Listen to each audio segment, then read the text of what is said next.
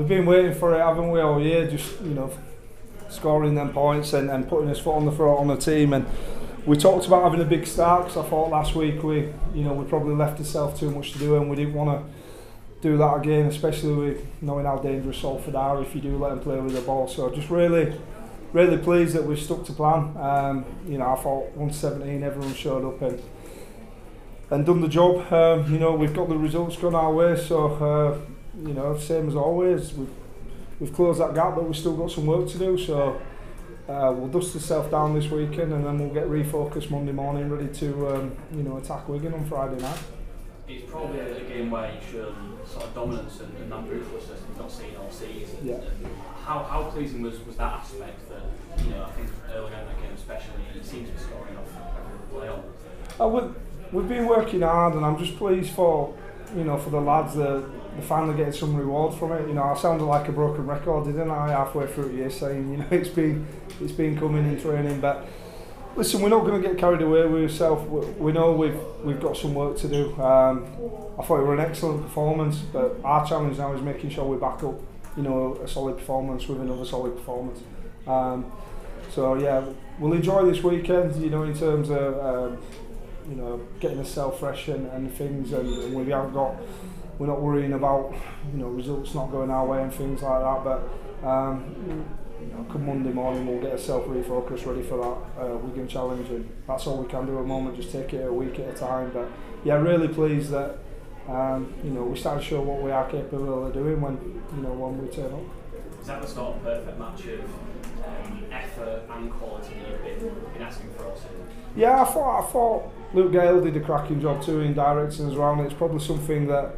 Um, you know, we've been crying out for is just that traditional scrum half, you know, that can just just free other players up to play. You know, I thought he did a really good job in in allowing Max and Dags to play their natural games, and you know, credit credit there. But as I said, I thought 117, everyone everyone showed up. I thought middle, middles were really physical, uh, dominated their outside backs. You know, because they're they're a dangerous team, Salford, especially if you start letting them get them half breaks. But I'm really pleased with his the scramble day as well. You know, it wasn't perfect. You know, they did break us as we knew they would, but you know, we did challenge each other just to make sure that we didn't use that as an excuse to, to cough up four to six points and they found a way to deal with it. You know, there were a couple of times Max came up with some some excellent cover tackles and um, you know, there were a couple of lads playing with with bruised bodies. Liam Hood nearly got ruled out this morning. Uh, that's why we left him on for such big minutes that his hamstring tightened right up and his back. Um, Dave Fifita played with a bad back. Um, that's why we didn't put him back on. So you know, there's a few few lads that shown up and um, you know put a shift in for the mates today. Just on the game, is, is that the sort of reason why you brought him to the club, particularly when you've got that lead and just the, the way he manages the game, his kicking game, and, and managing that tempo as well? Yeah, I, I think he's excellent for that. You know, he's I know he's 34, 35 now, but his, his mind still thinks exactly the same. So we've just got to be smart with Luke. Um, you know, manage him properly so that we can roll him out on a weekend. But he, he's still got the quality there, hasn't he, as he's shown tonight. So yeah, real, real happy that we've got him on board. As you said, you could probably praise every single member of that squad, but for other individuals, um, having Reece Lyne back in the side as yeah, well. That's it. He, he, he looks superb tonight. Yeah, Reece is a quality player. You know, let's not forget he, he's played for England himself and yeah, it's great to have players like that back, and uh, I think Reece did over 20 carries, you know, and ran for 100 plus metres, so it shows you how much we've been missing him. But um, yeah, as you said, I don't want to name one or two and, and forget someone. I thought 117, everyone showed up and, and did the did the job today for, for the team. And a great way to match Jay Pitts is um, 200 games. I know you spoke more yeah. about him Yeah, yeah, outstanding. I think there were Josh Bowden last week for his 200th and, and Jay this week. Um, you know, an outstanding achievement for both of them to play 200 games um, at this level. Um, you know, hats off to them both, and I'm just glad that you know we've we've got a win, so they remember it for the right reasons.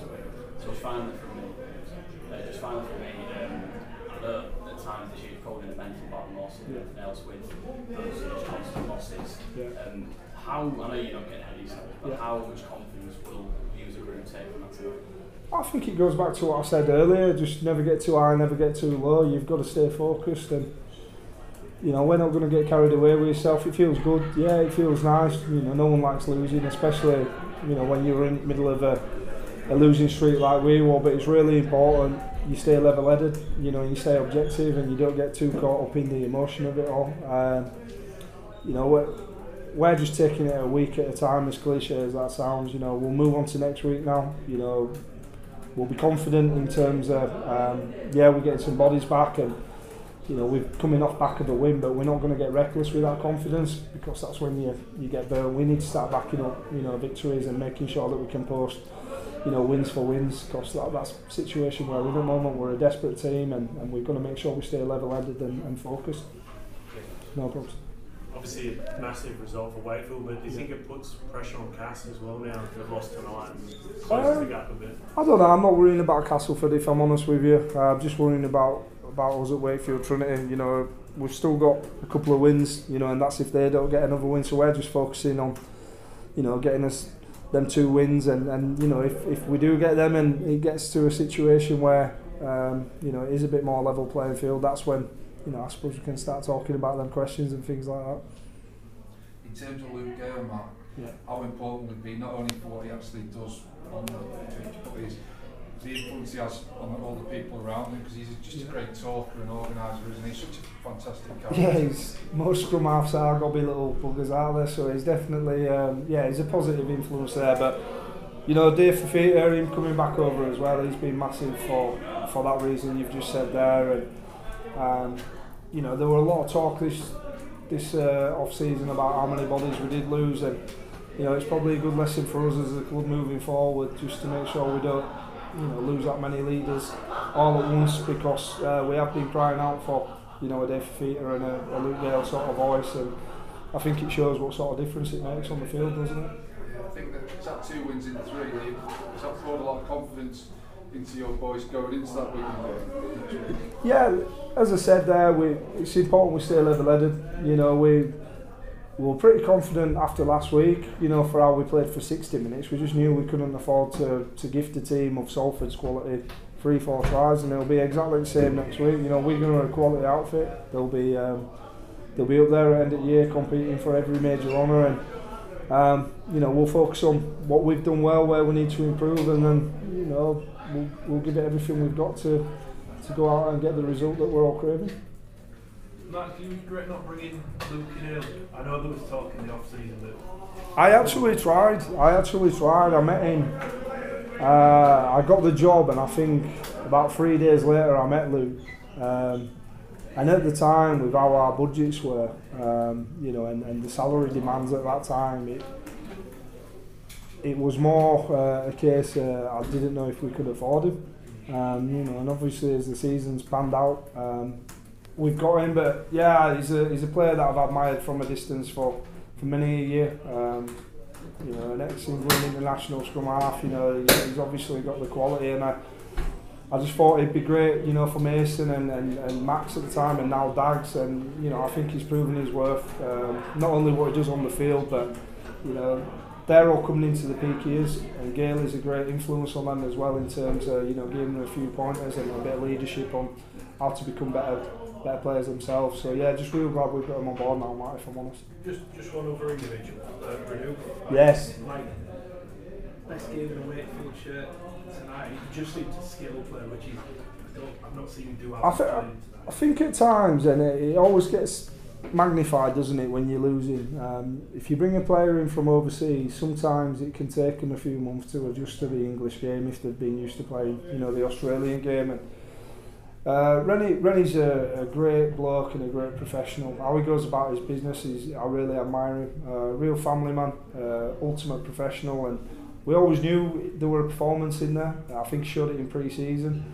Um, you know, and his confidence probably just got hit a bit with, like many of them, when we were losing. Um, you know, week after week. I think Dave coming in's been a massive influence for him. I think him and Dave are, are building a nice partnership coming off that bench together. And I thought he were, I thought he were quality last week against KR. Um, you know, I'm really glad he's, he's backed it up this week too against Salford. So yeah, really pleased for Rennie. Really pleased. How do you go about fitting Mason Lee now into the day when once he's back fit?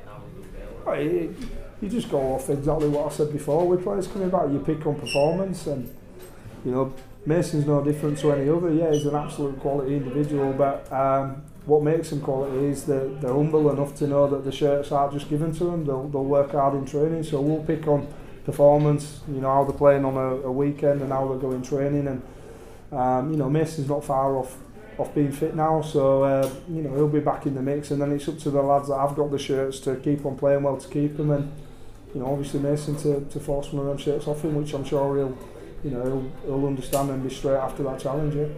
We saw it recently talking about it like is he alright? Yeah, just cramp. Oh. Just cramp. He's come back from a torn calf, so I think uh, I think he probably outrun himself. So we decided. I mean, I think there were what 40 seconds left. So we just played with 12 for last 40 just to be safe. But he's just just cramp. He's uh, he's 30 years old now, as he'll tell me. So he's uh, yeah, first game in what six seven week I think it was. So he'll probably feel the effects a bit of that.